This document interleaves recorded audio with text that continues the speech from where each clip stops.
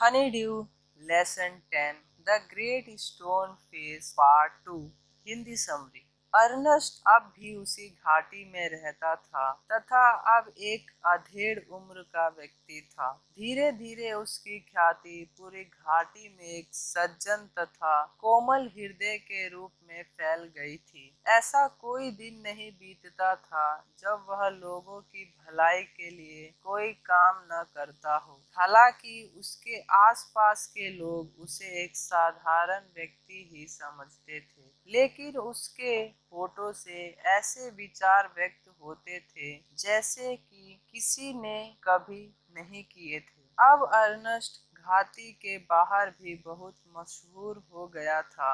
लोग दूर दूर से उससे बात करने आते थे। जब लोग उससे मिलकर लौटते तो वह चट्टान के चेहरे को देखकर सोचते कि शायद उन्होंने उसका प्रतिरूप देखा है। लेकिन उन्हें याद नहीं है कि कहाँ। जब अर्नस्ट वृद्ध हो गया था, तभी एक नया कवि भी उसकी घाटी में आया। उसने बहुत से शहरों की यात्रा कर रखी थी। इस कवि के लिखे हुए गीत अर्नस्ट तक पहुँच गए। वह अपने दरवाजे पर बैठकर उन्हें गाता था। उस चट्टान के चेहरे से कहता था कि, क्या ये कवि उसका प्रतिरूप होने के लायक नहीं है? उस कवि ने भी अर्नस्ट की ख्याति सुनी। वह अर्नस्ट के व्यक्तित्व से बहुत प्रभावित हुआ, तथा उसने अर्नस्ट से मिलने का फैसला किया। एक बार गर्मी के दिनों में वह अर्नस्ट से मिलने घाटी में आया। उसने अर्नस्ट से पूछा कि, क्या वह उसे एक रात का आश्रय दे सकता है? अर्नस्ट ने इस बात को सहर स्वीकार किया।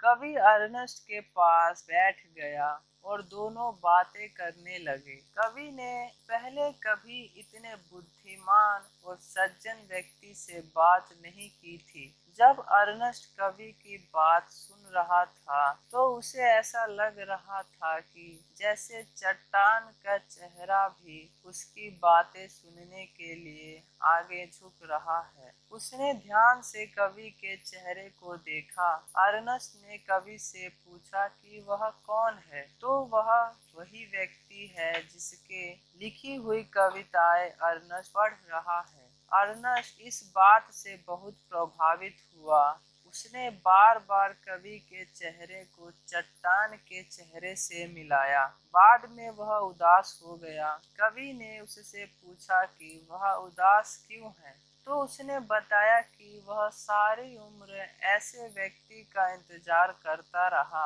जिसका चेहरा चट्टान के चेहरे की तरह हो। उसने सोचा था कि कवि वह व्यक्ति होगा, जिसका चेहरा चट्टान की तरह है। कवि ने हंसकर कहा कि वह चट्टान के चेहरे के प्रतिरूप होने के लायक नहीं है, क्योंकि उसका जीवन उसकी कविताओं से बहुत अलग रहा है, तथा उसकी अपनी कविताओं में व्यक्त विचारों में पूरी आस्था नहीं है।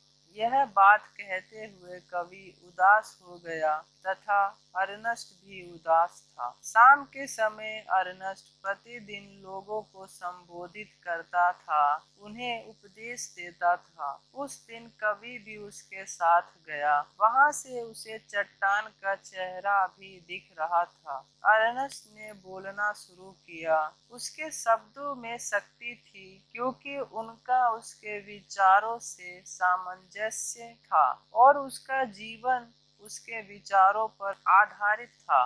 जब कवि उसे सुन रहा था तो उसे लग रहा था कि अर्नस्ट का जीवन उसकी कविताओं से ज़्यादा महान है। बोलते बोलते अचानक अर्नस्ट के चेहरे पर एक भाव आया जो बहुत महान था। उस क्षण कवि को लगा कि अर्नस्ट का चेहरा बिल्कुल चट्टान के चेहरे की तरह लग रहा है। उसने सबसे कहा कि अर्नस्ट ही चट्टान के चेहरे का प्रतिरूप है। सब लोगों ने देखा और उन्हें भी लगा कि अर्नस्ट का चेहरा बिल्कुल चट्टान के चेहरे की तरह लग रहा है। इस तरह यह कहानी पूरी हो गई, लेकिन अर्नस्ट अभी भी ऐसे व्यक्ति का इंतज़ार कर रहा था जो उससे भी बुद्धिमान हो। इसी प्रकार और भी चैप्टर्स की हिंदी समरी हमारे चैनल पर अपलोडेड है तो चैनल को चेक करना मत भूलिएगा। और ऐसे ही इंटरेस्टिंग एजुकेशन से रिलेटेड वीडियोस के लिए हमारे चैनल को सब्सक्राइब कीजिए और नोटिफिकेशन बेल को ऑन कीजिए, ताकि फ्यूचर में एजुकेशन से रिलेटेड वीडियो आपसे मिस ना हो।